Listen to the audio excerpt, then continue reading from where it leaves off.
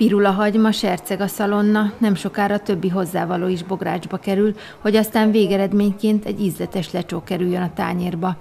Emberek sokasága, zeneszó és finom illatok lengték be a Dombóvári Helytörténeti Múzeum udvarát, ugyanis itt rendezték meg az idei év Lecsó Fesztiválját. A kulináris esemény nagy népszerűségnek örvend a városban, idén 20 csapat is fakanalat ragadott, hogy bizonyítsák ők a legjobbak a főzésben.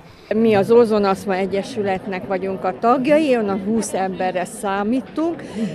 Testvér Egyesületünk a Szívklub, besegítünk nekik, és megcsináljuk a Fekete Istvánnak is a lecsó ételét, mert ők és a vezetőjük nem tudott itt lenni az elnökük, de e, ígérjük, hogy mind a három lecsó más lesz. A, a mi egy sima paraszt lecsót csinálunk, kolbásszal és szalonnával, a Fekete Istvánéba pedig még nem döntöttük el, vagy tojást teszünk, vagy májat teszünk, vagy mind a kettőt beletesszük. És mi tavaly is itt voltunk, nagyon nagy örömmel jöttünk az idén is, és segített bennünket a sors, hogy ilyen gyönyörű időt adott.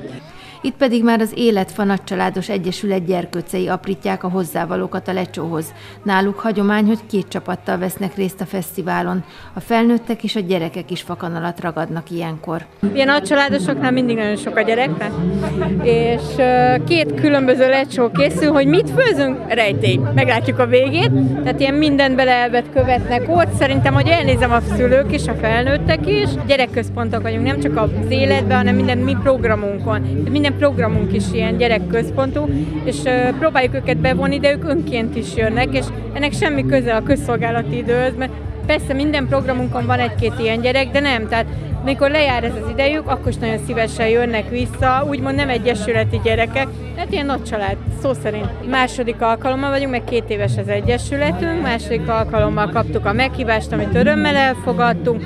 Hány fő van? Eredetileg 20 jöttünk, de szerintem sokkal többen vagyunk. Ahány bogrács, annyiféleképpen készültek az ételek. Mindenkinek megvan a jól bevált receptje. Akik eddig nem jegyezték volna meg, én először a, a szalonnát pirítom meg, azon megpárolom a hagymát, és én utána mindjárt a paradicsommal kezdem, hogy elfőjön. Ezek egyébként is olyan félérettek voltak, nem árt, ha jobban szétfől meg én nem szeretem annyira paradicsomot, ezért én mindig előre szétfőzöm. Meghámoztuk, mert van, aki a paradicsom héját nem bírja, többek között én sem.